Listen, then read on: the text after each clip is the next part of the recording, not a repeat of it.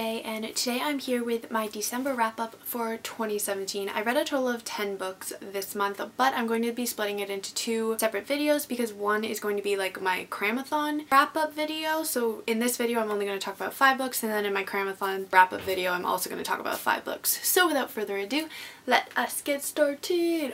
So the first book that I read for the month of December is definitely my favorite out of this month for sure and it is Girls Made of Snow and Glass by Melissa Bashardoust. This is a Snow White and the Evil Queen retelling and I absolutely adored it. I gave it a 4.5 out of 5 stars. Fairy tale retellings are one of my favorite genres so I was very very excited to get my hands on this book. I really liked the relationship between Mina and Lynette and how it grew throughout the story and how it wasn't your typical evil queen hates Snow White. It was a very unique twist on the classic tale, which I definitely enjoyed. I really liked how all the characters in the book were so well developed. Like every single side character was so well done and I really liked every single female character. They were all so strong. I think that the themes of friendship and family were really well flushed out. I think that the whole book was so well done and I really liked the dual perspective and how it flipped between the past and the present as well. I think that the imagery in the book was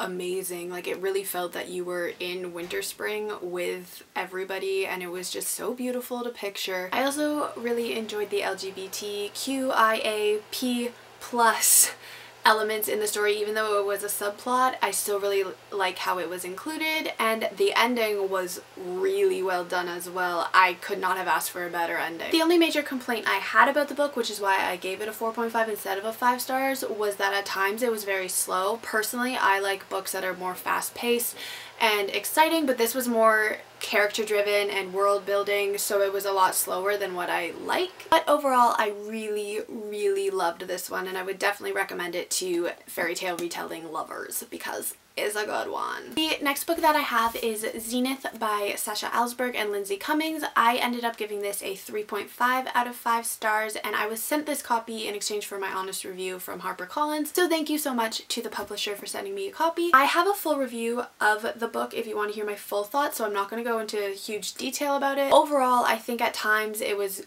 slow and it could have been cut down a lot from the 500 pages that it is and still got the story across in an effective way. I still think it was a really entertaining read and you should all pick it up on January 16th, 2018 is when it says it's released. So go check out your local Barnes & Nobles and or chapters or Amazon or Book Depository, wherever you want to buy this book because it was fun. The next book I have I was also sent by the author in exchange for my honest view and it is What the Valley Knows by Heather Christie and I ended up giving this a 1 out of 5 stars. I wanted to like it but just something that happened really pissed me off in this book which I will get into. It follows a girl named Molly who's new to town and she catches the attention of a popular jock named Wade who happens to have an alcohol problem. They end up getting into a relationship and then a car accident occurs where Molly is thrown from the windshield and ends up in a coma. And when she wakes up from this coma, she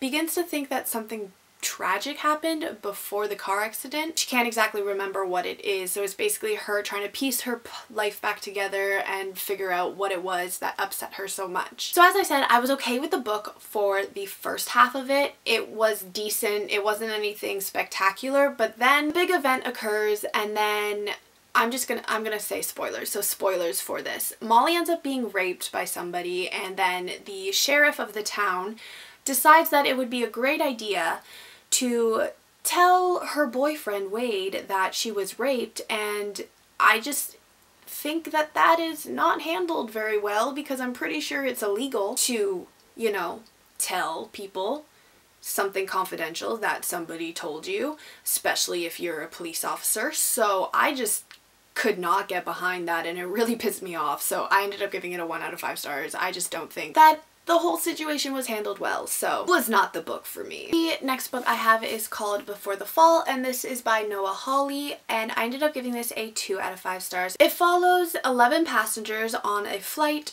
to New York. Ten of them are very wealthy. One is a washed up painter. The plane ride is all going according to plan until the plane ends up crashing into the ocean and only Scott Burrows, who is the painter, and a four-year-old boy survives. And it's basically the story of the aftermath of that crash and trying to figure out if it was on accident or something planned. So I think that the book had a very interesting and intriguing premise and I was excited to read it. I thought it sounded really cool, but it just ultimately fell really short for me. I found it to be super slow pace and extremely boring. I think that Every character was very well developed. They all had a very unique backstory and it was interesting to see how they fit into the big picture. But I just could not get behind any of them. I didn't really care what happened to them. I was just kind of reading and being like, okay, cool, like you're you're dead, that sucks. But I wasn't invested in any of their stories. I also just really hated how the dialogue was presented in this book. It was very stilted and it just